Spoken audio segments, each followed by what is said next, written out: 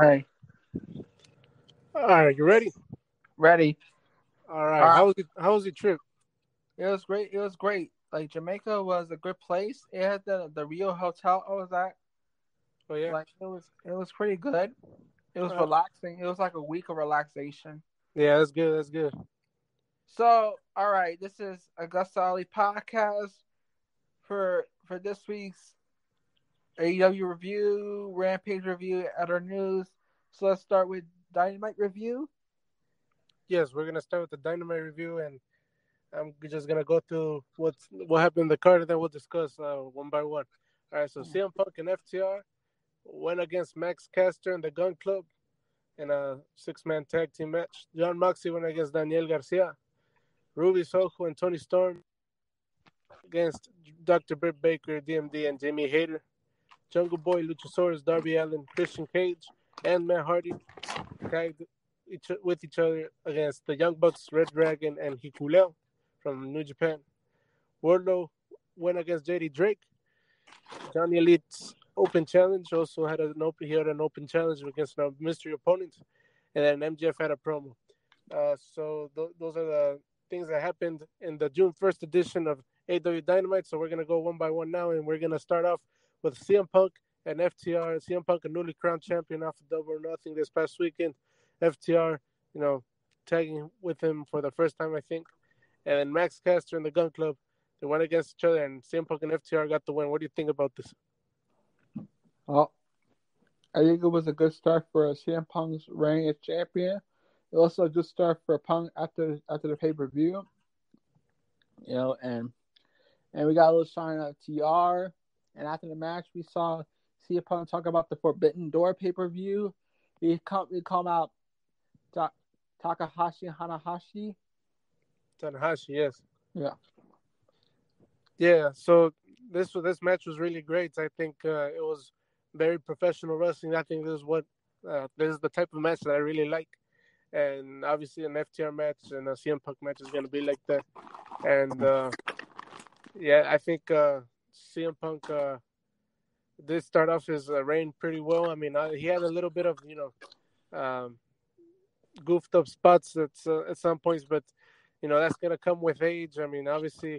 I think that's the point where uh, he has experience, he knows what he's doing, but sometimes, you know, it's too fast paced or something like that. But that he's still a, a well deserved champion, and uh, as you said, he, he said who he asked who his Forbidden Door opponent was gonna be, and it was turned out to be the ace of New Japan Pro Wrestling, Hiroshi Tanahashi. So we're gonna assume that Hiroshi Tanahashi is gonna uh, go after the AW Championship against CM Punk at Forbidden Door.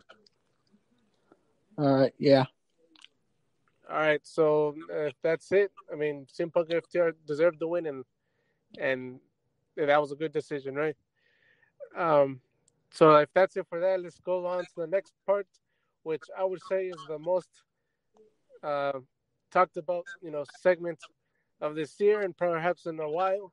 It's MJF came in, coming out to have an interview, have a promo, and this was an all-time great promo, uh, exemplifying a lot of the truths, you know, hidden truths of AW. What do you think about uh, this pipe bomb that MJF uh, put forth? I believe that he delivered a great pipe bomb. He does have some points where Tony Khan bringing in ex WWE superstars. It's a bit excessive. You know, there was like Keith Lee, Swerve Scott, the Hardys, Athena, mhm, halfway Stokely Hathaway, the rest. But still, yeah, MJF may have a huge point. I think this whole thing is a is a is a work for a storyline where it'll lead to AJ MJF winning the WWE champion for CM Punk and walking out of AEW. Okay, that's a that's the way to do it. Yeah, I think. Uh, I mean, uh, obviously, we're gonna talk about the MJF situation, you know, after.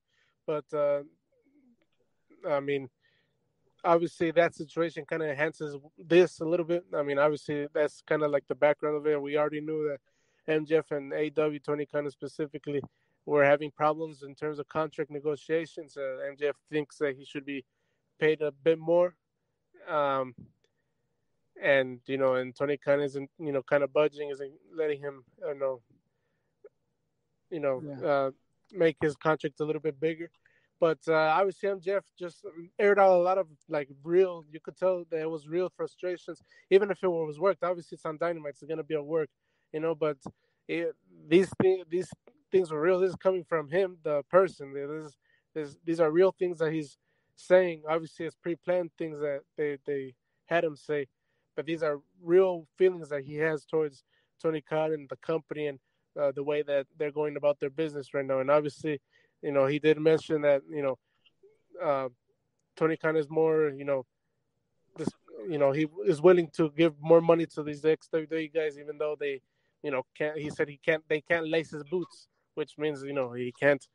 They can't, you know, go one on one on him in the ring. Like he's better in the ring than they are, and they he brings in more ratings than they do as well. So he kind of deserves. He thinks he deserves um, more ratings. You know. Yeah. Uh, more more money. Yeah.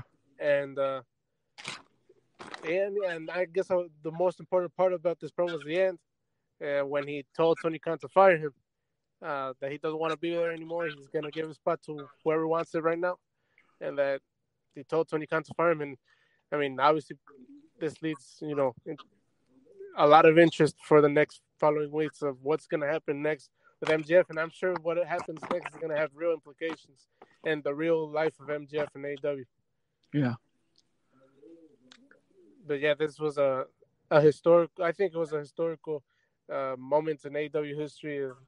And just kind of exemplified what how big of a vet.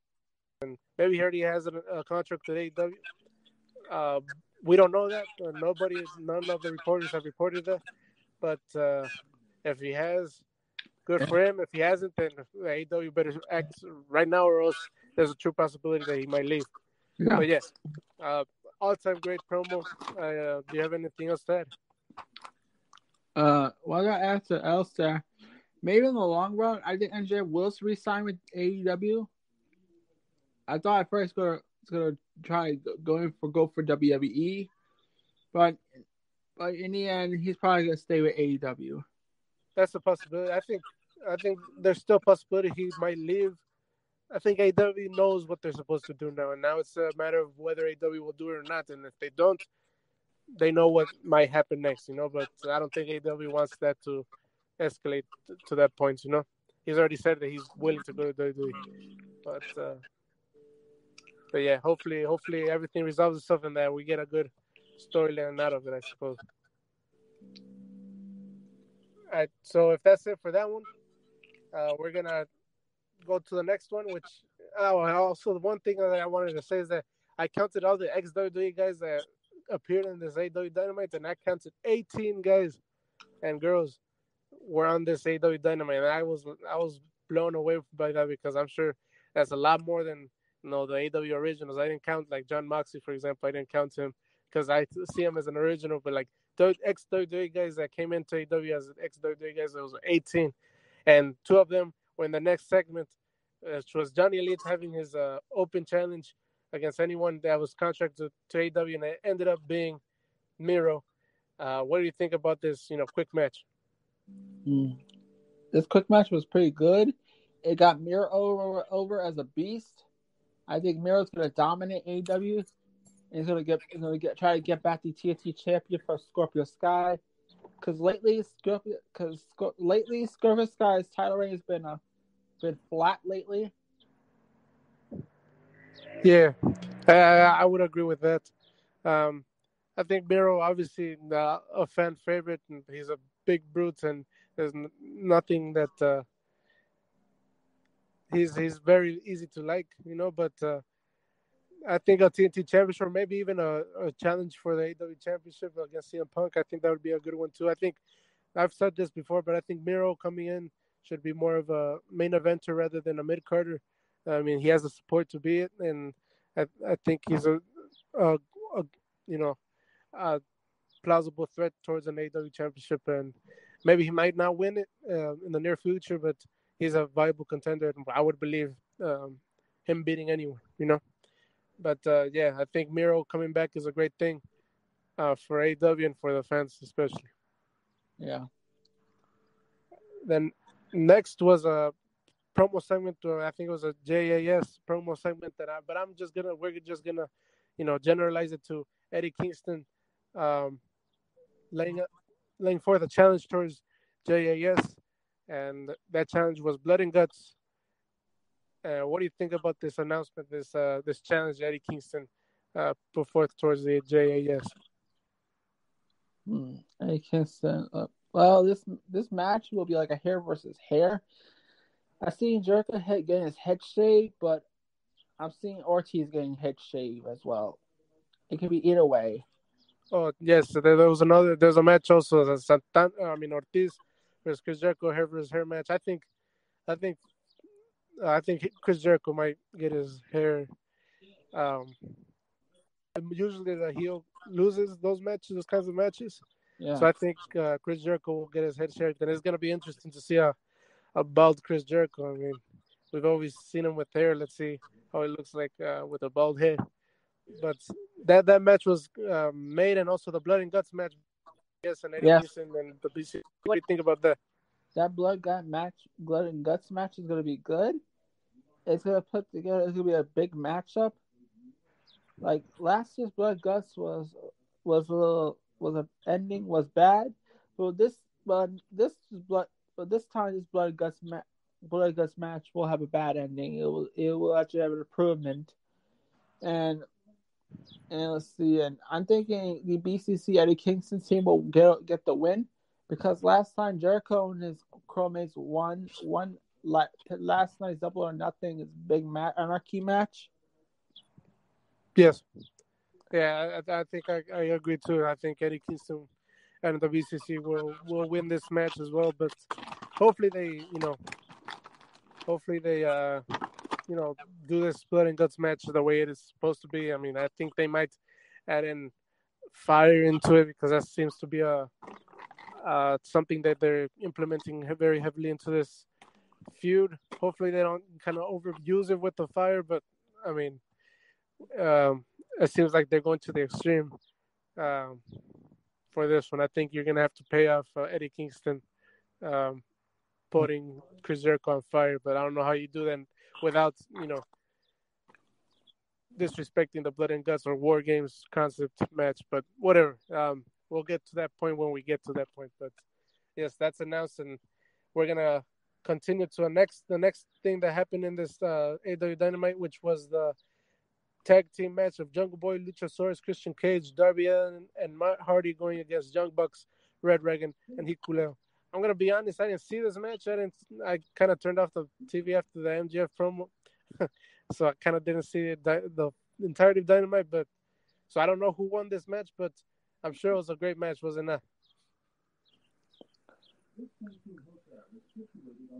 Yeah.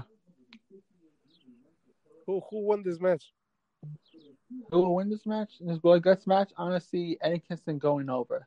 No, no, no. I, I'm, I'm uh, I transitioned to the next match, the ten man tag team match. Uh, oh, the ten man tag. Who won this match? I, I didn't see it. It was like the Bucks and Adam Cole. They they won the match. It was like a ten man tag, like PWG style kind of match. It was like flips, kicks, and stuff. It was basically PWG style matchup. Okay. The Bucks got the win. Team, the Buck, Young Bucks team got the win. So mostly, yeah, they put over the Bucks, Bucks, and Cole, and stuff. And come for, after that, we're for Tony Khan. The Young Bucks will be facing the Lucha Bros tomorrow, Friday, on Rampage tomorrow. On Rampage, yes. Yeah. Uh, and I think maybe the Young Bucks might challenge for AW Tag Team Championships. I think they're next, even though they lost to the Hardy Boys last last Sunday on Double Nothing. But uh, because I think uh, the Young Bucks pinned uh, the champions in this match, so maybe that's you know probable cause for them to challenge for the tag team championships, which I don't agree with. I don't know how that works in the ranking systems. I don't know how that works in terms of booking in general, but I think it might happen, and maybe it makes sense. But that Rey Fenix and, and Pentagon versus Young Bucks match on Rampage this week is going to be pretty good. I'm pretty sure. Yeah. Yeah. So uh, next we had a Tony Schiavone interview uh, with Athena Palmer, the former Ember Moon, who debuted on last Sunday's Double Nothing. Uh, what do you think about this promo? What her, what she said, and and everything. It was a great promo. Like it put over a lot of things. You know, um, like the promo had like Athena talk about last night's match debut, and we also had like we also like had, we also had like Stokely Hathaway with Jade Cargill going to Athena's face. It was pretty. It was pretty like a. It was pretty like a segment. Then, then Athena, Stan Leonard and Jay and Anna Jay got involved. It was like head to head with Jade Cargill, Red Velvet, and it was like um, it was a blue hair girl. Oh yeah, Kiera Hogan. Yeah, Kiera Hogan. Yeah, so yeah, that, that's basically what happened. Obviously, the next challenger seems to be um, Athena for the TBS Championship. Maybe she might win. I don't know, but uh, she's gonna have a match on Rampage, I believe, against Kiera Hogan. So we'll see how we'll see how good or how much she impresses on Friday. Yeah. Um, so the next match for this AW Dynamite June first edition was Wardlow coming off a big win against MJF on, on Sunday and Double Nothing. Going against JD Drake. Um, and Wardlow got the win, the victory uh, with the Powerbomb Symphony. What do you what do you think about this match? What do you think about Wardlow in general? He's the number one uh, ranked guy right now, so it seems like he's going to be the next guy to uh, challenge uh, for CM, uh, for CM Punk's championship, assuming that uh, he'll still be number one ranked after Hiroshi Tanahashi.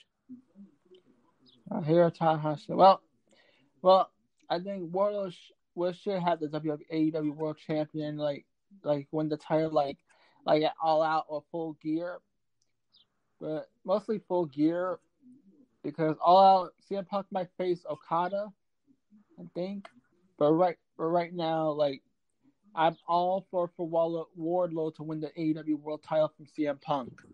So you think and that Wardlow's a big guy? He's really good. Like after this match, it was like Mark Sterling bringing his attorney, bringing his security guys, security getting beaten up, getting involved. Then Wardlow ripped out the cut that thing and beat up a security guy as usual. Yeah, yeah. So, so you think that CM Punk is gonna go against Okada? Yeah, most. I think he's gonna face Okada at All Out. All Out. Oh, I mean, I don't know. I, I think, uh, I don't know about that one, but uh, it, it, might happen. I don't know, but Wardlow uh, for sure. I think uh, it might be the first challenger after Tanahashi, and man, maybe he's the next champion. I don't expect him to win the championship. I don't. I don't think he will, and I don't think he will win the championship for a long while. He's a future champion for sure, but I don't think he's a the next champion. But yeah, so this segment was really good. Uh, obviously, the lawsuit from Mark Sterling afterwards, and and you know, Wardlow's very much over with the AW audience, and he's a great talent right now. So hopefully, they take advantage of him. Yeah. Uh, so the next one, the next match, in this June first edition of AW Dynamite was a tag team match, a women's division tag team match. Ruby Soho and Toni Storm versus Dr. Britt Baker, DMD, the Owen Hart woman, Owen Hart Cup champion, and Jamie Hayter. What do you think about this tag team match? Again, I didn't see this part of it, Dynamite, so I don't know who won this. It was match. a great, ta- it was a great tag team match, and, and it was a great hit hard hit women's tag match. It was, it was did a great job. There were there were no there were less there were like less botches, and it was a decent tag women's tag match and Ruby Soho and Toni Storm got the win. Okay. Uh-huh. Uh, so this might, you know, further the the feud that was started between Tony Toni Storm, Ru- Ruby Soho versus Dr. Britt Baker, and uh, this was a this has been a good, you know, story, a good feud, a good uh, women's division storyline, and I hope hopefully they uh, could make good matches out of it. I think these are four great uh, wrestlers, and any combination will have a good, you know, wrestling match. So hopefully uh, they do. Okay. So next uh, was the main event. This is the last thing that happened in AW Dynamite. The main event, Jon Moxley versus Daniel Daniel Garcia, and a very hard hitting match. Main event. I'm assuming Jon Moxley got the win. Yeah. Mm-hmm. Did He got yeah, Moxley got the win. It was a big, hard hitting, bloody matchup. Mox was mostly bloody, and and there was like there was, Jericho tried to interfere, but Kingston prevented Moxley from getting involved. I mean, I Kingston prevented Jericho from getting involved. It was a big interference match kind of match. Yes, know? and both of these guys are coming out of a, a crazy Anarchy in the arena match in this past Sunday on Double or Nothing. So they were both beat up. Uh, I think uh, the reason why Jon Moxley got busted open was because his staples on his forehead kind of got pulled out from Daniel Daniel Garcia. So this was a lot of more, you know, pain after you know all all the pain that they were suffering from the Anarchy in the arena match. So I'm sure it was a great match, and uh, and Jon Moxley got the deserved win uh, to get his you know win back from the loss that he suffered on Double or Nothing. So you know, great main event and great show overall. You know, an all-time promo from MJF, and and great wrestling matches as well. So great June first edition of AEW Dynamite. Yeah. That's it for this review. And what are we? What do we have next? Uh, we got we got uh, uh we got we still have to review the Rampage review, which is gonna come out next, people. But we could talk about MJF. Yeah, so I think we're gonna talk about the MJF uh, whole situation that happened this past weekend. Um, you were out in Jamaica, so obviously we we couldn't get to we didn't get to discuss this whole situation. But um, this past weekend, uh, on Saturday, it was reported that he had missed a meet and greet that was scheduled for the Fan Fest of Double Nothing, and MJF wasn't there. Samoa Joe was another person, but that was something separate. Uh, that had nothing to do with what MJF's situation was about. But it was reported that MJF was wasn't at the meet and greet, and it was also reported that there was a plane booked to New Jersey um, for MJF, and th- there was a whole lot of speculation whether MJF would get on this plane or not, or who booked this plane. Uh, People don't know who booked this plane. Uh, at least the reporters don't know who booked this plane uh, Yeah. for MJF. And it ended up being that MJF didn't get on this plane. He there was also speculation on whether he was going to show up at Double or Nothing for his match against Wardlow. He did. Um, he showed up for that match and he wrestled that match. He took the ten power bombs and lost. He got stretched out, stretched out Yeah. of the you know thing, and then reportedly he left right after his match. He got there, you know, right at the time of his match. People said that backstage that uh, um, he wasn't even at the gorilla position when his once his uh, music hit. So people didn't even know that he was there once his music hit, and he came out, he did his job, and and left. So that was the whole situation. Uh, this past uh, weekend, it was uh, the talk of the town uh, on Twitter or whatever. But what do you what do you think about this whole situation? That do you think um, that that there was a point where MJF was supposed to leave? Uh, you know, Las Vegas for New Jersey. Yeah, it would have been a point. It would, it would, it was like a it was a goal to make sure like something. It was like MJF wanted Tony Khan to get. He want, I think MJF wanted to get Tony Khan's attention. He might have did a great job, but a little too much with it. It may have pissed off the locker room. This is yes, this is on MJF. I hope Tony Khan and MJF had this resolved. They did went to a sit down meeting, meeting in California. So they will have this resolved. Right, and that sit down meeting was scheduled for. I I, I was saying Monday. Some people were saying Tuesday, but Sean Ross Sapp was saying Monday that they sat down and had a conversation. And he said after that point, he didn't know whether it was going to be a work or shoot. Before th- that, he said all of it was a shoot. Everything was real. Everything was as was confirmed by him and by MJF himself at some points. So he said that past Monday, uh, he doesn't know whether it's a work or a shoot. He says he it, he speculates it's a work. Now that they sat down and he doesn't know if they've come to an agreement on, on a deal, on a contract negotiation deal, or not, or maybe they're just doing this on a, you know. You know, whatever contract uh, thing. But uh, hopefully, um, everything is resoluted, or everything is Yeah. good, or whatever, and uh, hopefully, uh, MJF, you know, stays in AW, and if not, and hopefully he goes wherever he is happiest, and you know, this gets resolved soon for him and for everybody. All right, let's get to Rampage. Yeah, so we're gonna start off with Rampage. Let me just go through uh through the matches that happened, everything that happened in Rampage. It was a big Rampage, a live Rampage in Ontario, Ontario, California. Uh, the the home of the Young Bucks, and that's where we're gonna start off today. Young Bucks versus Lucha Brothers.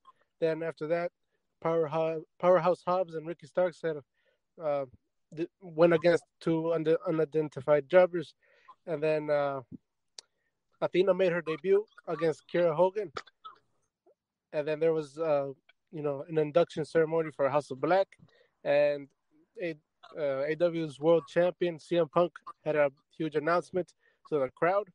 After that, uh, after that, Scorpio Sky defended his TNT Championship versus Dante Martin in the main event of this event. So we're gonna start off with the first match uh, that is Lucha Brothers versus Young Bucks, and the Young Bucks beat the Lucha Brothers in this match. What do you think about this match, and do you think it's the right decision to have the Young Bucks go over here? Well, it's necessary to get, go over the Lucha Bros because they're most like like penciling to win the AEW tag belts. And most and second of all, they did it was a great match with the Lucha Bros and the Young Bucks. The Young Bucks did win this match.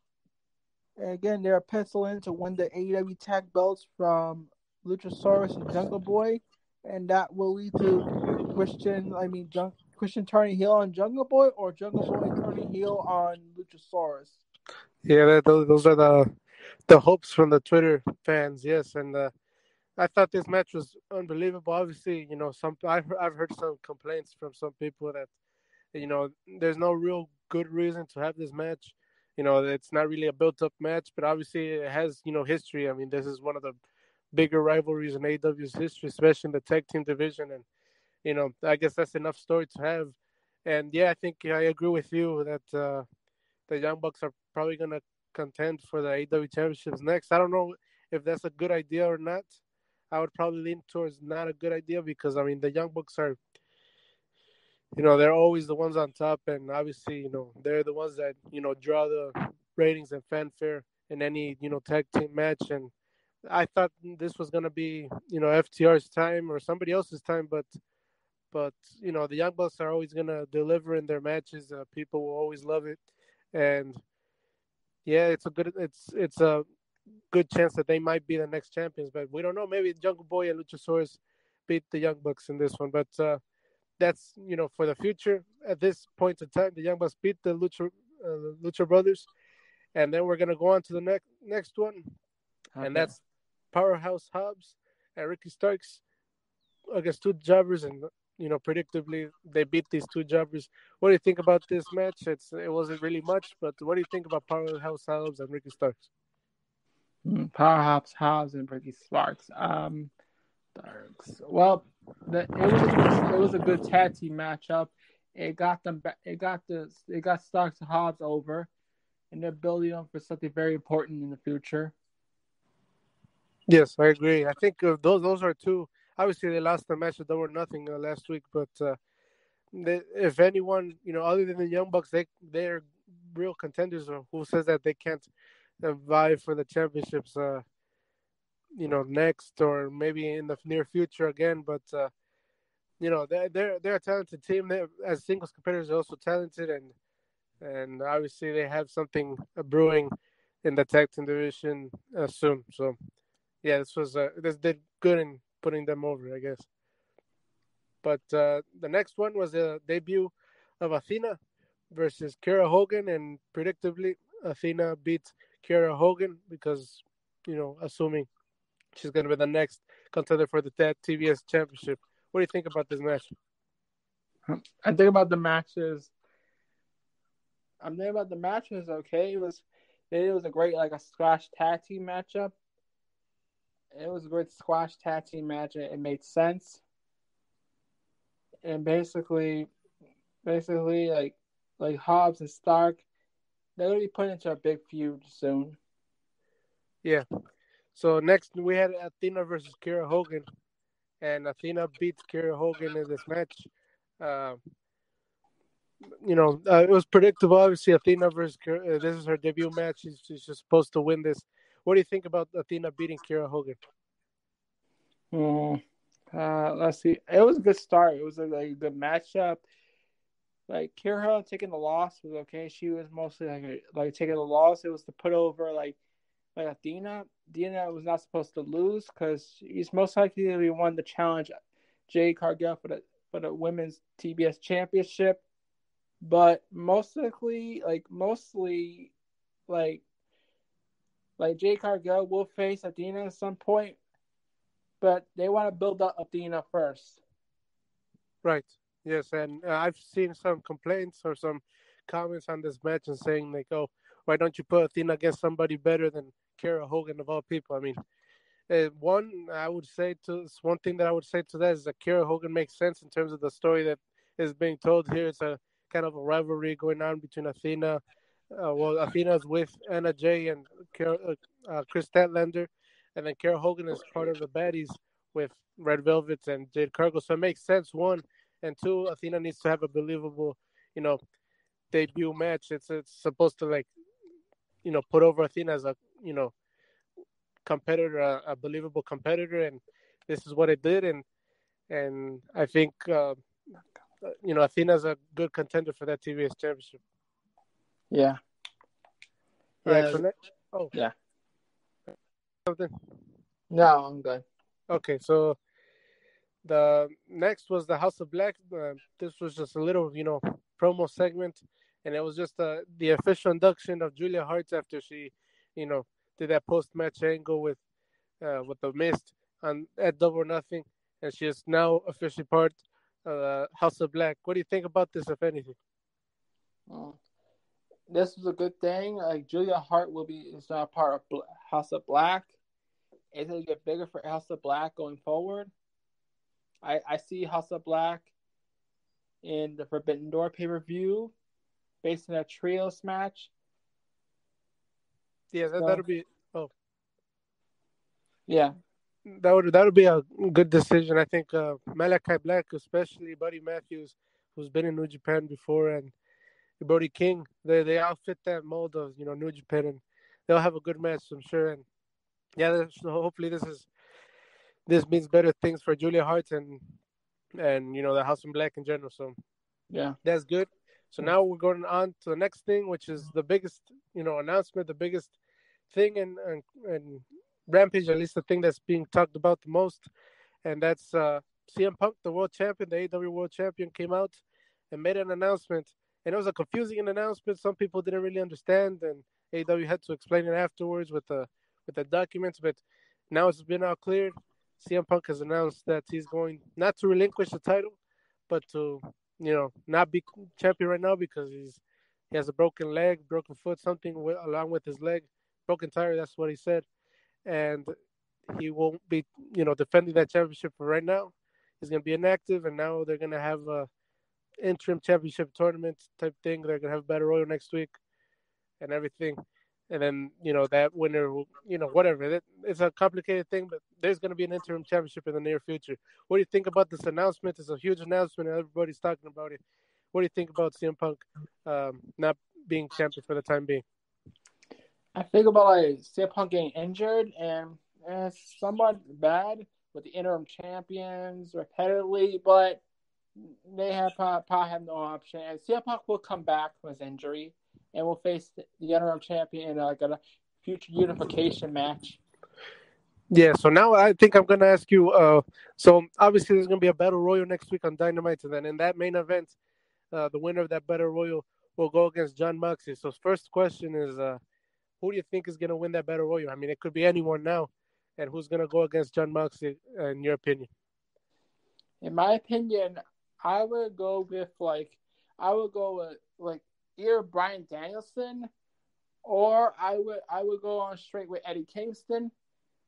Like either one of these two can face Jon Moxley. Yeah, I, I, I agree. I think uh, Bryan Danielson for sure it would be an interesting matchup. Obviously, with them being both part of the Blackpool Combat Club, I think now with the type of wrestling that they're doing, more of a violent style wrestling, they could exemplify exactly what they want and that would be a great match. Great, it's it's a it's a main event match for sure. Eddie Kingston, I've heard you know a lot of people on Twitter say that uh, that Eddie Kingston should be that next guy up, and that he's a perfect perfect guy for the interim championship. Um, I w- I don't know if I would agree with that. I'm not. I mean, I've said this before. I'm not really that much of an Eddie Kingston fan as much people are, but you know, I, I could see that happening as well. I've heard Miro.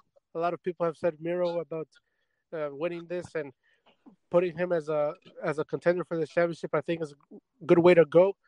Wardlow is another one. Um, he could win this. I think he should be the one against Jon Moxley. He's, he's the other one that uh, is high in the rankings. But uh, you know, it could be anyone in this case. It's a battle royal. Anyone could win this, and hopefully, you know, it's an interesting decision for this. And the other side of the story would be at Dominion, Hiroshi Tanahashi will go against Hiroki Goto. Uh, in this, uh, they're calling it the other side of the, you know, AW Eliminator match. You know, and who do you think is gonna win there, Hiroshi Tanahashi or Hiroki Goto? You know? Yeah, who's gonna win? Um, I'm going with Hiroshi Tanahashi. Is most likely happening. Like ta- Hiroshi Tanahashi is, is gonna be at the Forbidden Door pay per view. It's probably gonna beat Hiro, Hiroshi Hiroshi Gro, Goto. Yeah, I, I agree. I think it's going to be Hiroshi Tanahashi. I think that was always the plan, and now they have to change it a little bit, make it more interesting. And I think, uh, yeah, Hiroshi Tanahashi is the guy that will go against the eventual winner of the Jon Moxley versus the Battle Royal winner. But uh, okay, so now you kind of fantasy booked that Hiroshi Tanahashi will go. Who do you, actually no? I haven't asked you. Who do you think is going to win between Jon Moxley and you know, let's say Bryan Danielson if it's Bryan Danielson? Hmm. I would go with. I would have Brian, uh, not Moxley, to beat Bryan Danielson, so he go on to face Hiroshi Tanahashi. That was his dream match, and we never seen it. We know what go face to face before, and it should happen some point. Yeah, yes, I think Jon Moxley should take the win there. Um, Bryan Danielson could always go uh, for the IWGP Championship against Kazuchika uh, Kazuchika Okada. But okay, so now you've booked to Jon Moxley versus Hiroshi Tanahashi. Who's gonna be the next interim AEW World World Champion in your opinion? The AEW World Champ, my opinion. Well, the next AEW World World Champ, my opinion. Let's see. Um, I want to go with Hiroshi Tanahashi. Like he could win the title, and he could face Punk in a, a future unification title match. That would be that would be crazy. That would be, you know, if Hiroshi Tanahashi wins the interim world championship, that would be something that, you know, is unprecedented in AEW for sure. I it would be a it would be a surprise for sure, but uh, I think uh, fans would really like that decision. I would go with Jon Moxley. I think Jon Moxley is a great, you know, he has the aura. I saw this thing. Uh, he's like the Undertaker of AEW. You always, whenever you see him, he has this aura. He has this presence about him, and, and you know, just exudes danger. And I like that. And I think he's he could very well carry the championship right now. He carried it during the pandemic, and he could carry it now while CM Punk is injured too. And Jon Moxley or CM Punk is a huge match as well. But you know, it could be anyone. It could be Hiroshi Tanahashi. It could be Jon Moxley. It could be someone else. We don't know, and this is what I guess what AW is intending to do. That we don't know exactly what's going to happen, and that's what's exciting about it, I suppose. Yeah. All right, so if that's it, uh, that's all we're gonna say about the CM Punk thing. We got one more match to discuss in AW Rampage, and that, that's Scorpio Sky going against uh, Scorpio Sky versus Dante Martin at eight um, for the TNT Championship, and Scorpio Sky beat Dante Martin. What do you think about this match? Scorpio Sky won and retained his title. Well, the, it was a great matchup, even though no one, no people ignored it because it was after the it was after the CM Punk promo, and that kind of hurt the title match. But it was a good. But that that TNT title was really good. We didn't see no Guevara or or Kazarian in that match, so this is a good thing. Yeah, yeah, I, I agree with you. I think uh, the CM Punk, CM Punk announcement got people talking, and obviously, you know, there was uh, no time to kind of pay any attention to this, but it is a TNT Championship match, and obviously, it's a little bit more refreshing that Scorpio Sky is being able to be presented as a TNT champion without, you know, the presence of Sammy Guevara or Frankie Kazarian, mostly Sammy Guevara. I think now that Scorpio Sky is going to be a true TNT champion against other competitors and be able to defend it um, regularly is going to help him. Is um, hopefully you know he has a good reign now, but uh, that's it for AW Rampage, I suppose. Uh, you know this edition of it, this uh, June third, you know, edition in Ontario, California. I wanted to discuss one piece of news. I, I think you saw this uh, Twitter thing. Go ahead. Okay. Um, that I think you retweeted it. Uh, it's uh, the Tony Khan. He's speaking to the crowd in Ontario, California, and the crowd, you know, chanting MJF, MJF. You saw this video, yes? Yes. Uh, and um, you know, it it, it kind of like reminded me of the CM Punk chants from 2000. The, you know, the ones that we all know. The when CM Punk was, you know, semi-retired out of the wrestling business.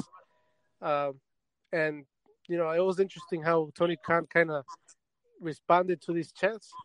Uh, obviously, he does this, his things that he always does, where he addresses the crowd, kind of trying to sell the, the matches, and they're shouting MJF, MJF, and he kind of cuts them off a little bit and says, "Hey, but somebody who is here, uh, so you know, some matches that will happen tonight." And that was kind of interesting to me. I, I it kind of I did a tweet, uh, you know, earlier saying that that kind of yells to me that Tony Khan either is at really great odds against MJF, they're very much not in speaking terms or not in an agreement with each other. MJF is no longer part of the AW company anymore. That's that's another possibility, uh, or that uh, you know MJF will not be an AW for a while, at least in that show, and for a while at least, because Tony Khan was very adamant and you know, trying to cut off those chants and, you know, trying to sell what was going to happen in that show. Um, I, I thought that was interesting. I don't. What What do you have to say about this? What are your kind of opinions since you saw this video? Mm-hmm. Uh, opinions are like in this situation with, with Tony Khan and JF, it's gonna get like it it probably a work. I see it as a work because like Tony Khan and MJF has sit down and probably MJF got into a big money deal, new deal. So this is mostly built toward work. A long term plan, I see MJF facing CM Punk for the WWE champion like after the unification. Yeah. I, I see I see what you're saying. Uh I think there's a possibility that is a work and yeah, um that's what most people are saying. But one thing that make, makes it more kind of interesting to me, I guess, is that MJF told in that interview with Ariel Helwani, he said to Ariel Helwani that he isn't going to sign a new contract, and you know, before 2024, you know, or at least he's not going to sign a, a, you know, a contract that extends his contract past 2024. He says he's not even going to look at it, you know. So that kind of like makes me not believe the fact that they sat down and, you know, worked on a new contract. At least, you know, contract extends his current contract. If they sat down and gave him more money, I would believe that, you know. Uh, but I don't think his contract will be extended at any point before 2024.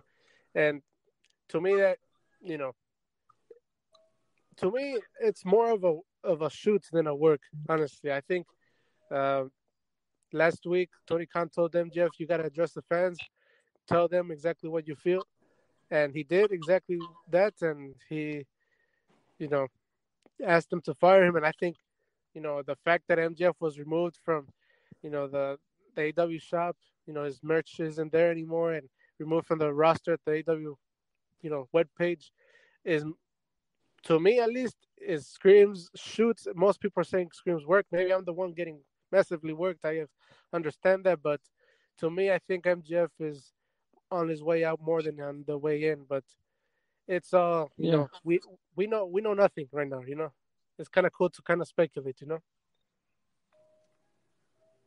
Yeah. Okay. Uh, do you have anything else to say or add about uh, this, or is, will that be it? That'll be it. Okay, everyone. This is AgostoAllElite podcast. I'll see y'all next Saturday. Thank y'all. Bye bye.